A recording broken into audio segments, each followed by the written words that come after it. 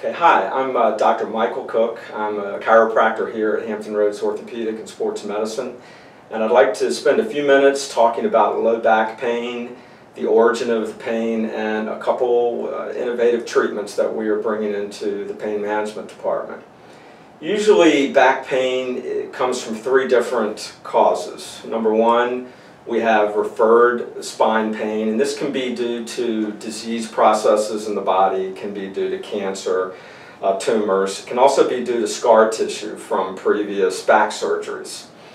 The second cause uh, can be uh, pure muscular pain from a strain, an overuse, injury. The third and most common cause of back pain is what we call mechanical spine pain. And I'd like to use a couple models and to explain this because this is the area that, that chiropractic is very successful in. So when we talk about mechanical spine pain, let's use this model that would represent the vertebra down your spine. And normally when our spine bends, the vertebra in the spine should flex and actually move. Now we can have an area that is restricted, we call that subluxation or it can be a fixation or just a mechanical tightness.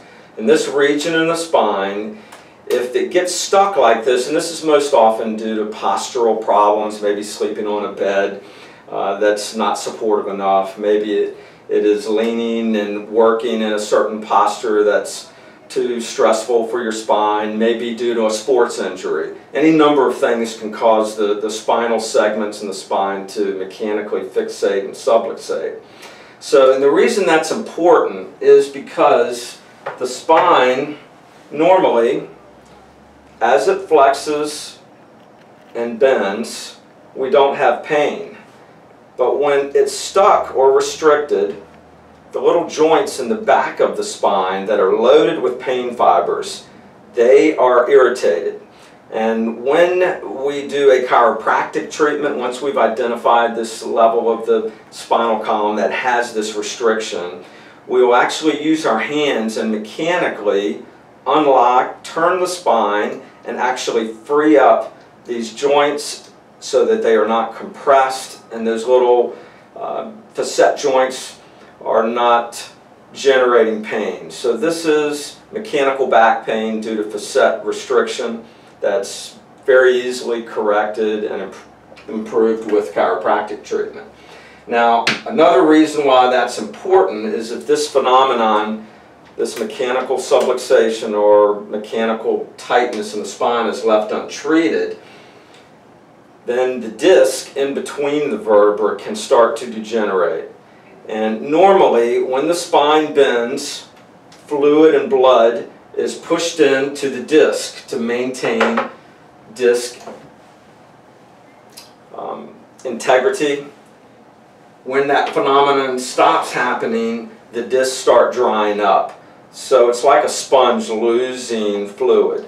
The disc starts drying up and it can thin and it can start tearing. The disc can herniate and if left untreated long enough, it's similar to a cavity that will rot a segment of the spine out. You will see the disc completely drying up.